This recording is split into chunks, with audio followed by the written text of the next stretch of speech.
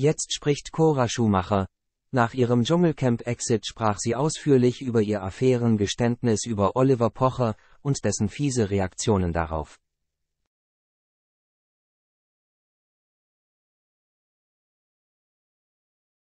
Cora Schumacher. Ich sagte Olli klar, dass ich nicht lügen werde.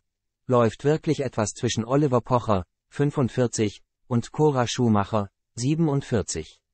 Seit Tagen herrscht Rätselraten um das Liebesleben des Comedians und der, mittlerweile, Ex-Dschungelcamperin.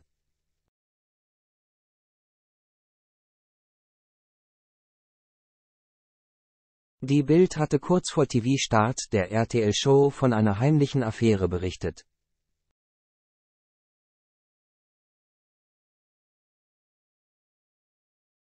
Olli selbst witzelte die Schlagzeilen anfangs noch weg, doch nachdem die 47-Jährige im Dschungel dann explizit seinen Namen nannte und sogar zugab, sich so ein bisschen verknallt zu haben, baute er das Ganze kurzerhand in seine Liebeskasper-Show ein, und das nicht gerade in positiver Richtung.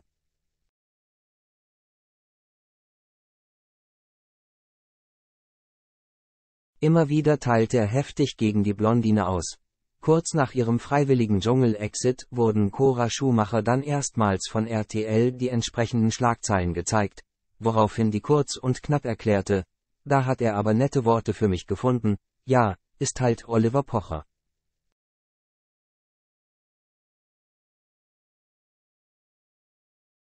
Ich brauche keinen Oliver Pocher. Ich brauche weder seine Schlagzeilen noch brauche ich seine Kohle.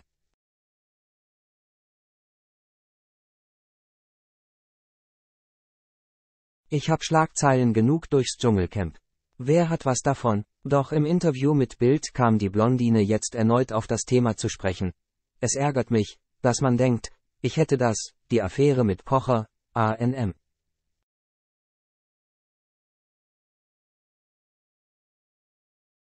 D. Red. Verbreitet. Ich wusste, dass das Thema aufkommt und sagte Olli klar, dass ich nicht lügen würde.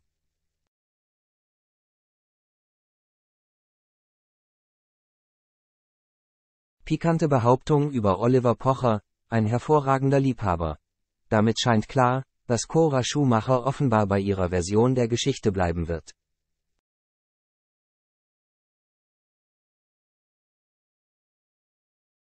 Dass Olli in seinen Shows so über sie spricht, kommentiert die Ex von Ralf Schumacher, 48, so.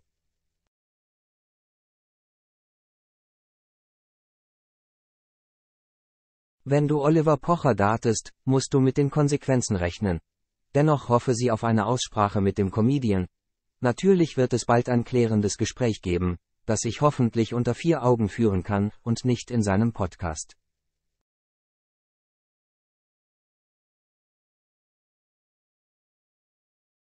Runde Klammer, runde Klammer. Der Kerl hat einfach übertrieben. Gemeldet hätte sich der 45-Jährige bislang nicht bei ihr.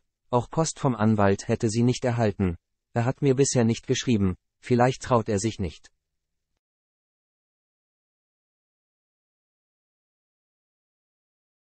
Von Anwälten habe ich bisher auch keine Post erhalten.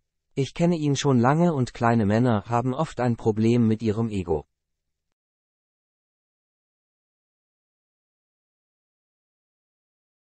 Vielleicht braucht er mal meine starke Schulter.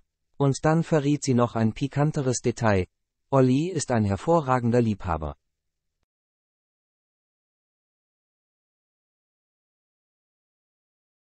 Ich sehe der Sache positiv entgegen. Damit meine ich keine Glückskekse, sondern echte Liebe.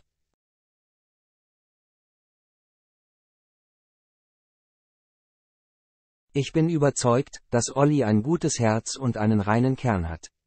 Offiziell hat Oliver Pocher allerdings bis heute nicht wirklich Stellung bezogen.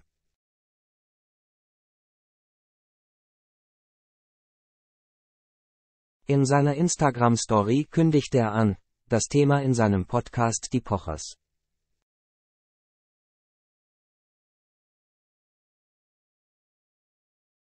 Frisch recycelt noch einmal aufgreifen zu wollen.